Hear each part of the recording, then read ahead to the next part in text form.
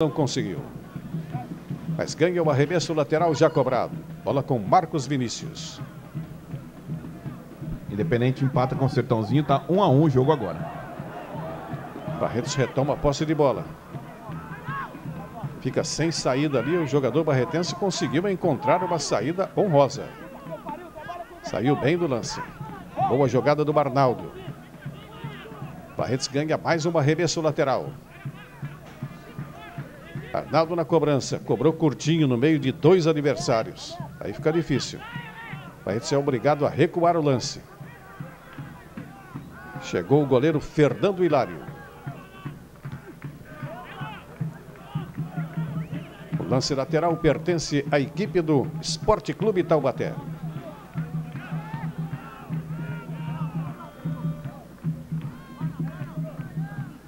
Taubaté com a bola no campo de ataque. Bola com Gustavo. Guarujá, Altamira e Roberto, obrigado pela audiência. Acompanhando em Barretos, Carla, Camila, Conrado também. Conrado que jogou no Barretos, será que é ele? Em Guanambi, na Bahia, João Evangelista, obrigado pela audiência. Em Franca, Flávio Henrique de Souza. Vendo o jogo em Olímpia, Carlos Bernardes e Eric. Agradeço a audiência em Avaré, José Carlos Fá. Futebol, redevida.com.br. Tiro de meta para a equipe barretense. Mandamos um abraço para Barretos, para o doutor José Eber de Martins, para o doutor Mamédio Baís, para o Titão Benedito Faria, para o Breguesso. Todos acompanhando o futebol da Rede Vida, acompanhando o Barretos Esporte Clube. Na espera da classificação. 26 minutos, primeiro tempo de jogo. Você viu aí o camisa 10, Marquinho do Taubaté. Barretos recebe boa bola no campo de ataque. Tentativa do Moisés, cercado por dois. Bola saindo pela linha, não chegou a sair não. Levantamento do Ala Arnaldo, a bola foi desviada pela linha de fundo. Tiro de meta. Fabrini. Diga, Tiago.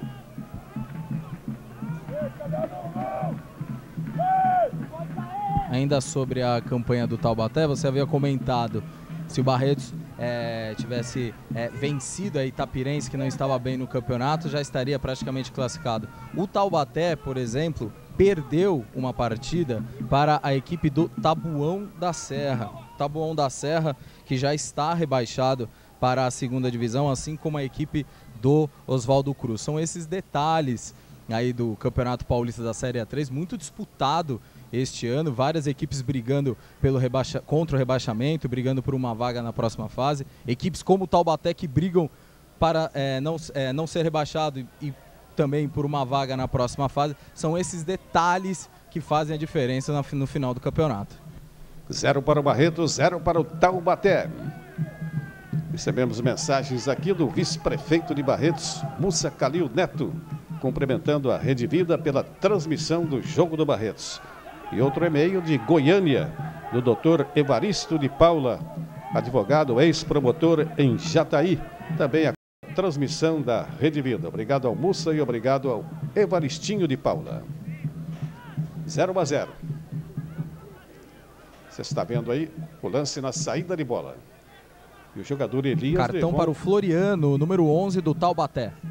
Sai o primeiro cartão amarelo no jogo. O jogador Elias levou uma cutucada por trás ali e acabou pedindo atendimento.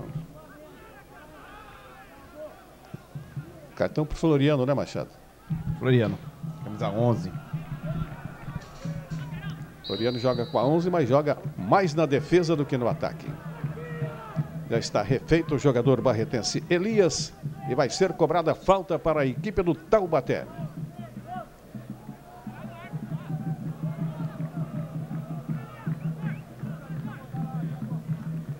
Ajeitando a bola para a cobrança, Augusto.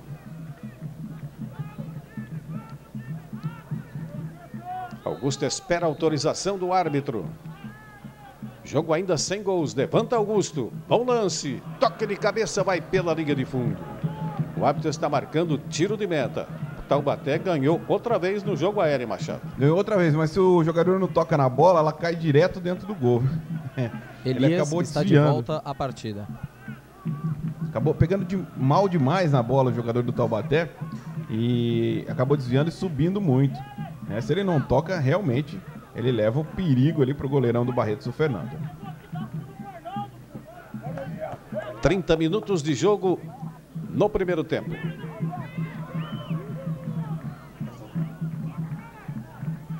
Placar da Rede Vida. 0 a 0. Bola chega até Elias. Faz abertura para Arnaldo. Avança Arnaldo, vai tentar a jogada pessoal. Fica sem ângulo para o cruzamento e fica sem a bola. Foi desarmado. Taubaté recupera a posse de bola. Floriano. Fez o passe mais na frente, o árbitro marca a falta. Uma bronca dura aí do jogador Bruno José contra seu companheiro. Tô ficando muito nervoso o Bruno. Eu até achei que fosse contra um árbitro, Fabrinho, mas você chamou a atenção que era com o companheiro. Ainda bem. Essa reclamação que ele faz, se ele faz para o árbitro, ele estava é. fora. Eu fiquei aqui na dúvida, mas como você bem frisou, foi para o companheiro. Tá errado também, né? Também, mas... também. Mas o companheiro não tem cartão. Lateral para a equipe do Barreto, 0 a 0. 31 de jogo no primeiro tempo. Estamos na cidade de Taubaté, no Vale do Paraíba cidade de 350 mil habitantes. E onde estudou medicina o atual governador de São Paulo, Geraldo Alckmin. Foi formado na Unital, Universidade de Taubaté.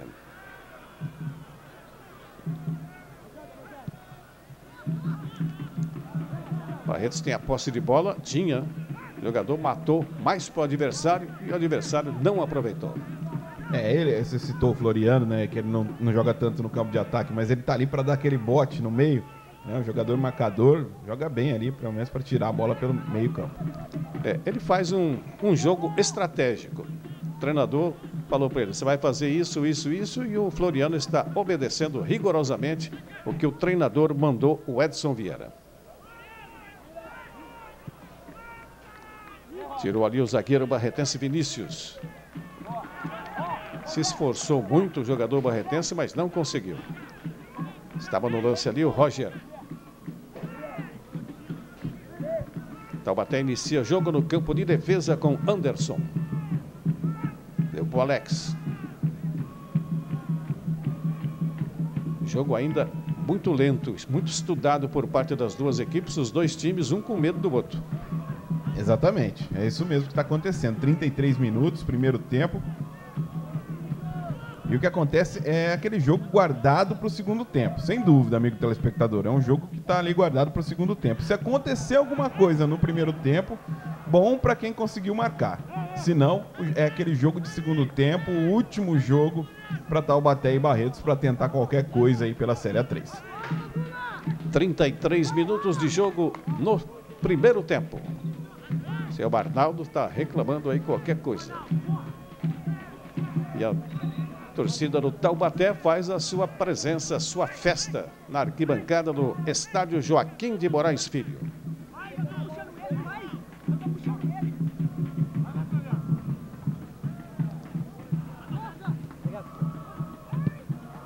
Tirou ali o zagueiro Bruno José.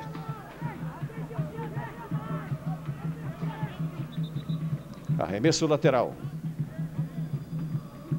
Bola com o Taubaté.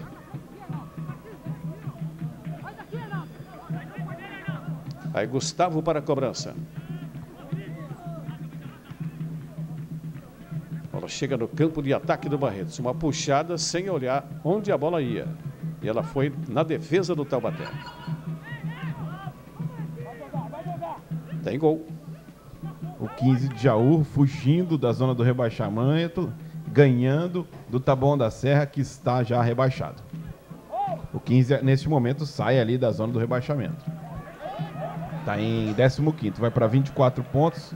Está Independente, Bebedouro, Oswaldo Cruz e Tabuão na zona do rebaixamento. É, o Oswaldo Cruz e o Tabuão já caíram, né? Isso, então estão entrando com eles Independente de Limeira e Inter de Bebedouro. Zero Barreto, zero Taubaté. Está revendo aí a falta cometida pelo zagueiro Augusto do Taubaté. Esse jogo do 15 de Jaú é polêmico pelo seguinte, o, o, presidente falou que mesmo se o 15 ganhar, não vai pagar bicho. É. Ele tem que ganhar, sabe? Aquele negócio, o jogador tá, tá, tem que ganhar esse jogo. O presidente do 15 de Jaú é o senhor José Construtor. Falta dura aí do jogador barretense, o número 11, Mário André. Mas já está de pé. E o árbitro pega outra falta. A defesa do Taubaté marca severamente o ataque barretense. Mário André já chegou, ajeitando a bola para fazer a cobrança desta falta para a equipe barretense.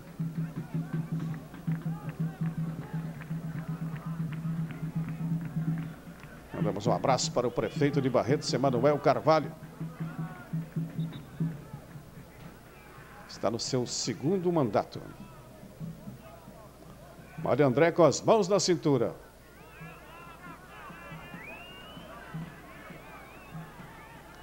Ajeitando a meia ali o jogador. Floriano. O árbitro, depois de muito conselho, autorizou. Lá vem bola. Toque de cabeça fica nas mãos do goleiro Santos. Sem perigo. Santos fica indeciso onde começar a reposição de bola. Procura jogo pela faixa esquerda do seu campo de ataque. Ali a defesa barretense está firme. Toque de cabeça do Elias pela linha lateral. Arremesso para o Taubaté.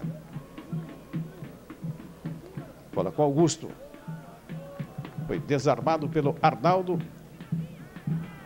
E a posse de bola pertence ao Esporte Clube Taubaté. É escanteio. Não, arremesso lateral. Lateral que Gustavo vai cobrar. Levanta Gustavo. Tirou o zagueiro Bruno José. Barretos tenta recuperar a posse de bola, mas ela fica com o ataque do Taubaté, que não tem jogo na frente, recua o lance.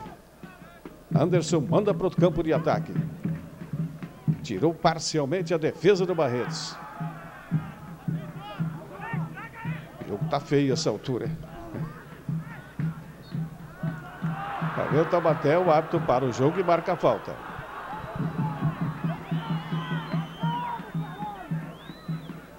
Falta já cobrada.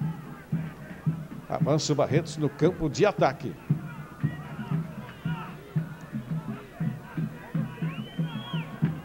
Alexandre.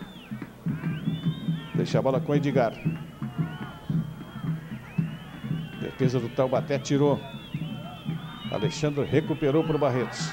E o Jefferson apanhou da bola.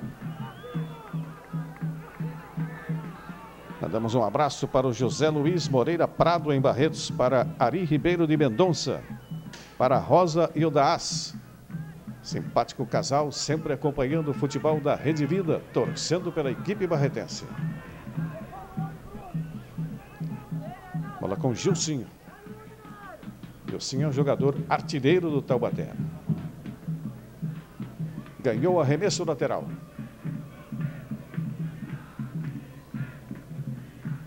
Ninguém quer cobrar o arremesso lateral. Vamos ver qual é o voluntário que aparece para a cobrança. É o Augusto. Arremessa Augusto. Olha o batida para o gol, a bola passa. Essa passou perto. Batida do Floriano, de fora da área. Olha, mas o Barretos, quando, quando o Taubaté chega e tem a oportunidade, o jogador está desmarcado como estava o Floriano, o Barretos fica assistindo, né? Não chega ninguém para tentar fazer o combate.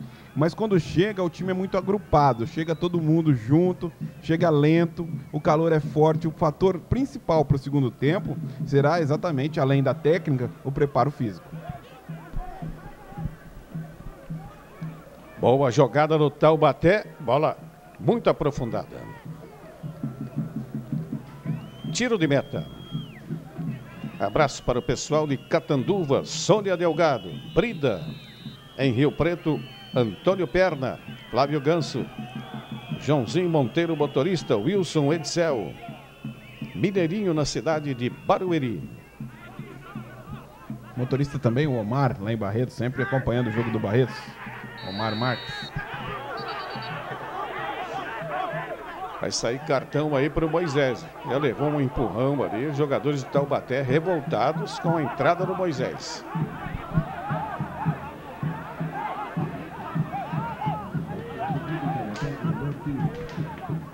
Está caído o jogador do Taubaté. E o árbitro vai lá desfazer a rodinha em cima do Moisés.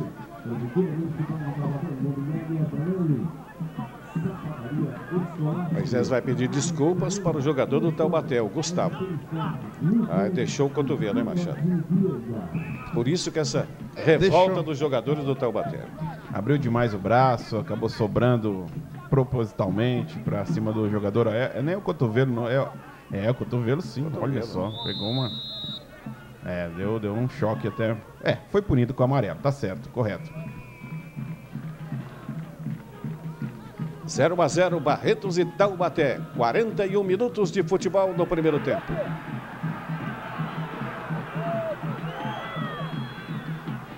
Barretos faz a ligação na divisória do campo. O árbitro para o jogo e marca a falta. Jogo bastante faltoso também por parte das duas equipes. Falta para amarelo também, viu? Foi no mesmo setor do campo, parece que também deixou o braço, o jogador do Taubaté mas estava mais longe aqui da gente, o árbitro estava mais próximo. Deixou seguir. Só marcou a falta, aliás. Bola com o Arnaldo. Você está revendo a falta. É, é sim, falta igual a outra. Tem gol. Inter de Limeira 3 a 0 para cima da Inter de Bebedouro. A Inter de Limeira está entrando na classificação e empurrando o Bebedouro para a segundona do próximo ano. Dando uma forcinha para a Inter Bebedouro. Bola no campo de defesa do Barretos com o zagueiro Bruno José. Lançamento na entrada da área foi derrubado o Mário André. Derrubado o Mário André, a falta leva perigo para o gol do Taubaté. É uma boa distância para se cobrar, com jeito e também com força. Aí o batedor vai escolher ou força ou jeito. Com jeito vai, com força também vai. E uma bola parada a esse, a esse momento, 42 do primeiro tempo, um jogo retraído até aqui, bola parada resolve. 42 minutos. Quem ajeitou foi o Mário André e ajeitou com muito carinho, por sinal. Botou carinho, tá amarrando agora a chuteira do pé direito, o Moisés. Barreira compacta, hein? 3 com 2, 5 Cinco jogadores do Taubaté na barreira. Três jogadores do Barretos em posição de cobrança. Jefferson cobra com a esquerda, Mário André com a direita. Lá vai Mário André, bateu, bola não passou pela barreira. Perdeu uma boa oportunidade. Levantamento de bola na entrada da área. Tirou Augusto. Ela caiu ali no meio com Gilcinho. Lá vai Gilcinho, tá valendo o lance, bateu pro gol e é gol! Gol do Taubaté! O gol é seu, Gilcinho, número 7 na camisa. Tempo do gol, 44 minutos de jogo no primeiro tempo. Gilcinho faz, Taubaté 1, um, Barreto 0. Vai buscar lá dentro Fernando Hilário. Taubaté sai na frente. Olha, aconteceu a mesma coisa que aconteceu no início do jogo. Quando o Barretos chegou e num contra-ataque rápido, fulminante, o Taubaté chegou, mas o Lelo não colocou no gol.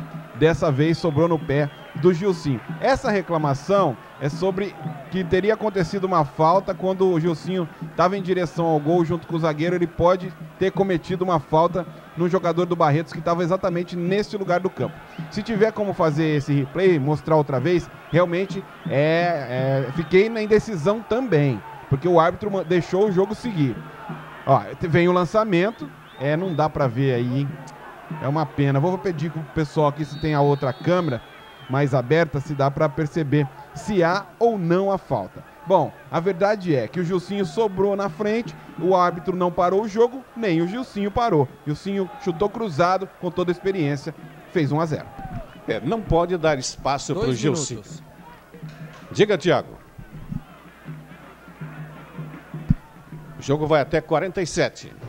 Estamos já no Dois tempo de acréscimo. de acréscimo. E lembrando que o Gilcinho é um dos mais, mais experientes desse elenco, 34 anos de idade. Ele que é ídolo da torcida do Taubaté, ele é nascido em Taubaté, tem mais tem aproximadamente 233 jogos com a camisa do Taubaté e há rumores de que este jogo, Taubaté e Barretos, pode ser o último jogo da carreira profissional do Gilcinho. A gente confirma isso com ele depois. E ele tem um irmão no banco, que é o goleiro Gisiel. Dois irmãos trabalhando no Esporte Clube Taubaté. Missão do Barretos agora fica mais difícil. O Barretos tem que fazer dois gols para permanecer no G8. E o futebol que o Barretos jogou até agora não dá essa esperança para a torcida, não.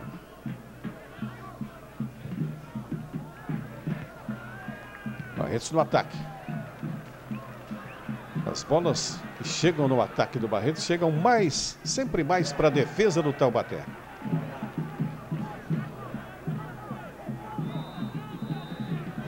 Um a 0, Taubaté vence o Barretos. E apita o árbitro. Fim do primeiro tempo na cidade de Taubaté. No placar da Rede Vida, o Taubaté tem um, o Barretos Esporte Clube nada. Muito bem, vai começar o segundo tempo. Você viu aí a matéria da Veridiana sobre o tênis. Apita o árbitro, bola em jogo no segundo tempo no estádio Joaquim de Moraes Filho, em Taubaté. Taubaté virou o primeiro tempo ganhando do Barretos por 1 a 0. Vamos ver se o Barretos melhora no segundo tempo para a alegria da sua torcida. Até agora, a equipe barretense ficou devendo. Tem mudança, Tiago?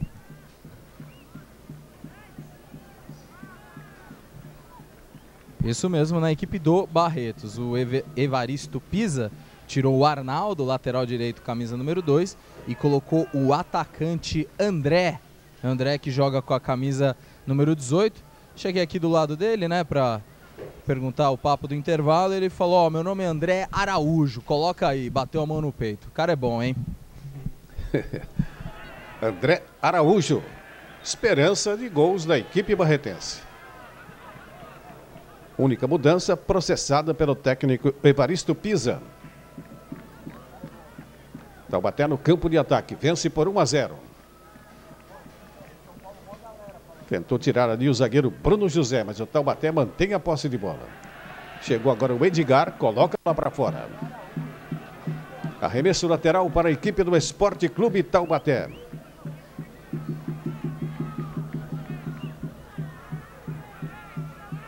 Com o Gustavo.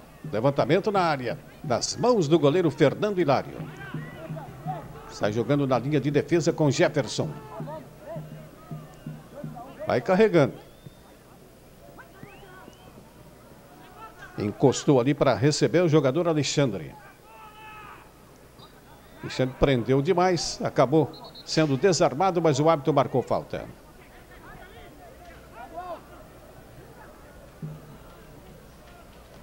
Falta já cobrada. Levantamento de bola na grande área. Subiu o goleiro Santos do Taubaté.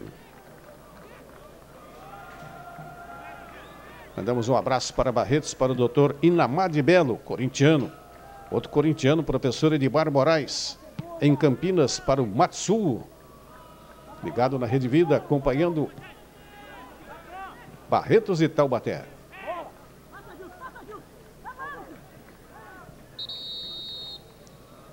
O árbitro para o jogo. O jogo que está nos seus 2 minutos e 30 neste segundo tempo. Torcida barretense na expectativa de uma reação da equipe do Barretos. Levanta Augusto. Tirou ali Vinícius. Mandou para frente Moisés. O pessoal não pôs a bola no chão ainda, não fez uma tabela no meio de campo, não fez um lançamento.